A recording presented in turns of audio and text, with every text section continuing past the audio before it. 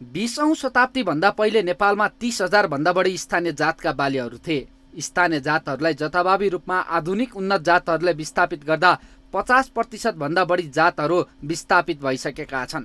नेपाल पृथ्वीको त्यस्तो क्षेत्र हो जहाँ जङ्गली नातेदार वनस्पतिमा पनि नेपालमा एघार जाति र उन्तिस प्रजातिका खाद्य बालीहरू तथा छ जाति र बाह्र प्रजातिका बागवानी बालीहरूको उत्पत्ति भएको मानिन्छ। जलवायु परिवर्तन तथा आधुनिकीकरणले गर्दा महत्त्वपूर्ण खाद्य बालीका धेरै जङ्गली नातेदारहरू केही समयमै लोप हुने अवस्थामा छन्। अझै कुनै निश्चित भूभागमा ऐतिहासिक रूपमा खेती गरिँदै आएका बालीहरू हराउने र अन्य बालीहरू विस्थापित हुने अवस्थामा छन्। धान मकै कोदो जौ उवा लट्टे काँक्रो घिरौला नास्पति आरुपखरा बिमिरो अमिलो सिमी केरा दुधे चिनो बरियो कागुनो र फापर लगायतका विभिन्न स्थानीय बाली तथा फलफुलका धेरै जातिहरू समेत लोप भइसकेका छन् भने बाँकी रहेका केही जातिहरू पनि लोप हुने खतरा धेरै छ। यसो हुनुमा स्थानीय बालीको संरक्षण र प्रवर्धनमा सरकारले लगानी गर्न नसक्नु र कृषक पनि आयातित बालीतर्फ केन्द्रित हुनु नै पहिलो कारण हो। स्थानीयको उत्पादन कम हुन्छ।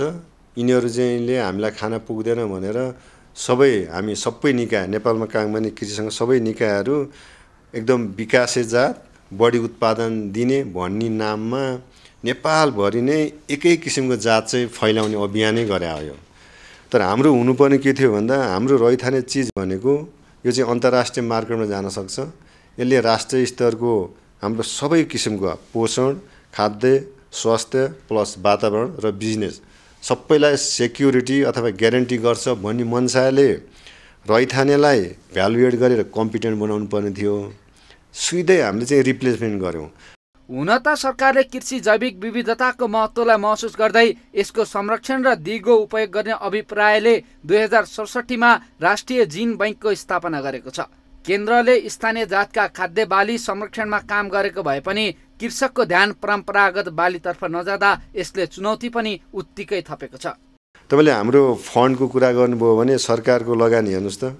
तपाईँले इक्जाम्पल हामीले माछामा लिनुहोस् तपाईँको बाख्रामा लिनुहोस् प्लस बालीमा हाम्रो बालीमा लिनुहोस्। जुम्ली मार्सीमा तपाईँ जुम्ली मार्सी धान होला धान होला जुम्ली मार्सी लोकल हो। त्यहाँको पहिला हराइसकेको कन्डिसन। जुम्ली मार्सीमा नेपाल सरकारले कति लगानी गर्यो त? त्यसको अल्टरनेट त्यहाँ चन्दननाथको विकासे जातहरू छ।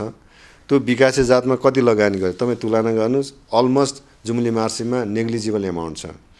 नेपालका रैथाने बाली लोप हुनुमा सरकारले यसको संरक्षणमा ध्यान पुर्याउन नसक्नु त प्रमुख कारण हो नै विश्व समुदायमा रहेका कृषिका दलालहरूले नेपाली खाद्य बाली नष्ट गर्न आधुनिकका नाममा प्रचार गर्ने पनि अर्को कारण हो।